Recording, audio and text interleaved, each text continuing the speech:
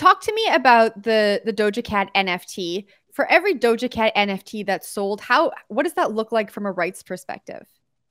Yeah, so so we uh you know we really think about NFT as communities, right? So this is something for the fans. So uh, the ability for us to mint on Tezos blockchain, uh, which is a low energy and also low transaction cost blockchain, it means we can mint millions of NFTs for um, you know practically pennies.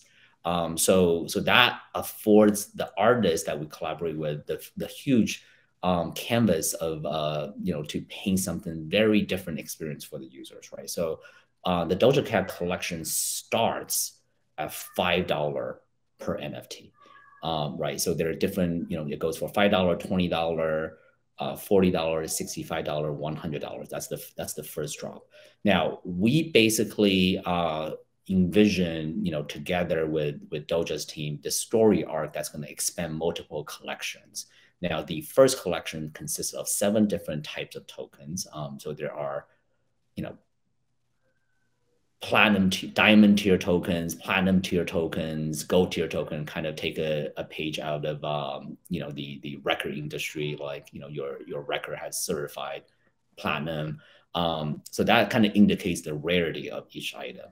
Um, and then the seven tokens basically are um, access keys into into the Planet Doja world. Uh, the Planet Doja world, the, the storyline will, will play out out of um, you know three different collections.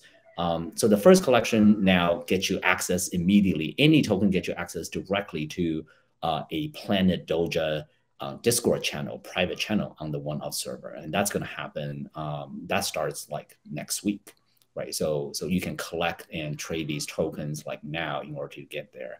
Um, but also, um, any of the three the the tokens also comes with different um, probabilities of landing you a golden ticket or golden VIP ticket.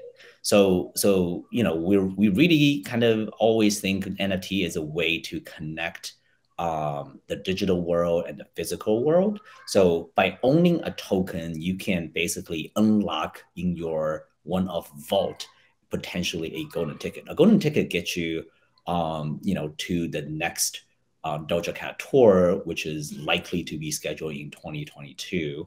Um, and um, and and golden VIP ticket basically is, is a VIP experience um, at the concert, premium tickets, and all of that um, and and that this all leads to uh, also the the one of one, right? So um, so so any of the seven tokens um, basically can mix and match. If you actually collected any three, um, you can combine them in and, and and then in collection two you will receive a um, super duper combiner token. So there's 294 different combinations. So without getting into too much of the weeds, um, right? So there are different rarities of these tokens, and then there is a one of one Doja Cat uh, token coming out in the next um, in the next day or two. Um, so that will be auction only. So so the you know the one of one will come with a physical experience that is um, you know a flyaway VIP trip to not only see Doja on tour, but like go dine at one of her favorite restaurants and really experience, um, you know, a world like like Doja would.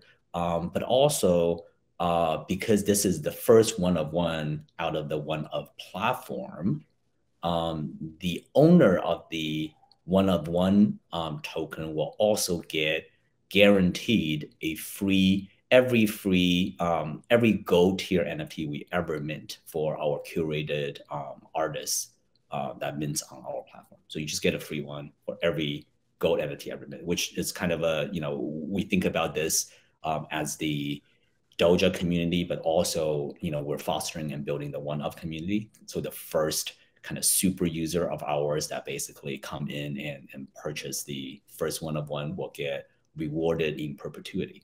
Um, so that's kind of how you know maybe give you like a window into how we're thinking about NFTs as community, as you know, connect con- conduits between real world and digital world experiences. And um, there's there's a lot of exciting kind of fun things uh, that we're kind of always thinking about.